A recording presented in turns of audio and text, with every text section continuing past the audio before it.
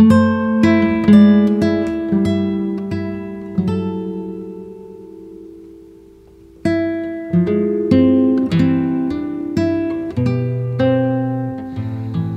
nos encontramos hoje para o sexto domingo do tempo comum, mas ele é uma janela que nos abre para essa semana seguinte, onde temos a quarta-feira de cinzas, abertura do nosso caminho para a Páscoa da ressurreição, paixão, morte e ressurreição de Cristo, o tempo da quaresma.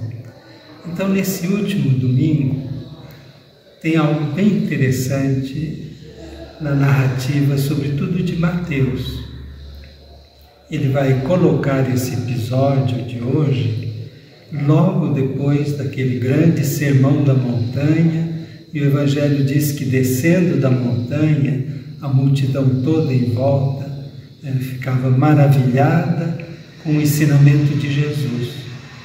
Mas tem algo que, vamos dizer assim, de maneira estranha, não diria estranha, mas transgride aquela celebração da multidão. É um leproso que aparece. Um leproso. Ele transgride por quê? Porque o livro do Levítico dizia que o leproso ele tinha que ficar gritando com a roupa rasgada, com aquele cabelo desgrenhado, gritando: leproso, leproso, para todo mundo se afastar. Em vez de se afastar e de gritar, ele corre para Jesus. Ele vai ao encontro de Jesus, sabendo que não estava fazendo uma coisa que não era permitida, ele se joga aos pés de Jesus, cai de joelhos e diz para Jesus: Se queres, podes curar-me.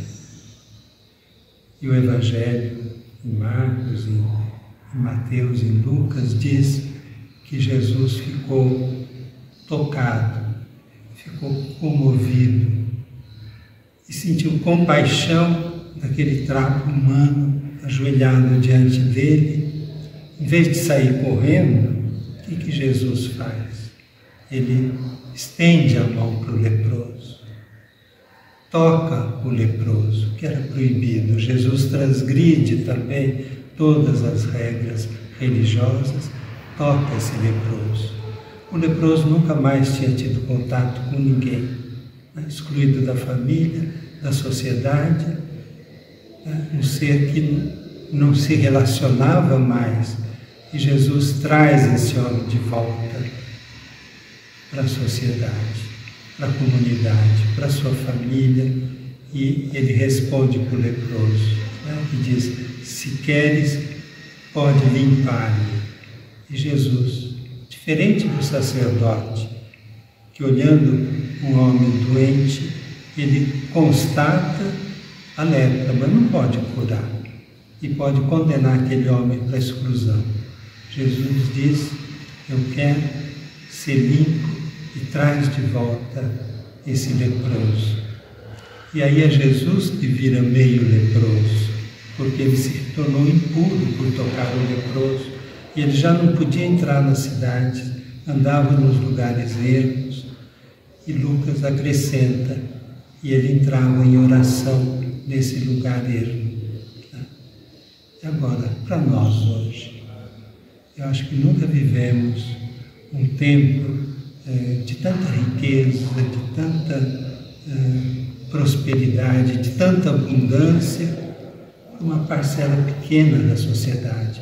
E nunca vivemos tanta pobreza, tanta exclusão, todo mundo fugindo desses que são diferentes, porque estão doentes, porque são drogados, porque vivem na rua, porque moram em favelas.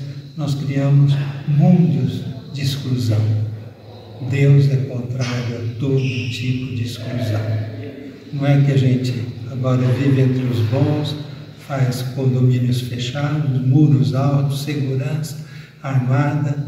Não é a sociedade que Jesus quer.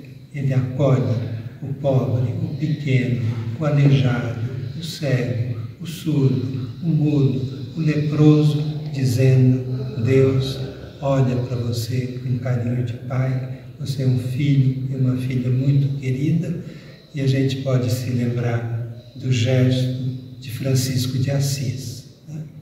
Ele entregou toda a roupa dele para o pai, mas ele encontra um leproso.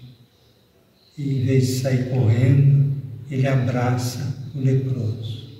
Esse é um convite para que nós abracemos os excluídos, não fujamos de encontrar o irmão, a irmã necessitada, os moradores de rua.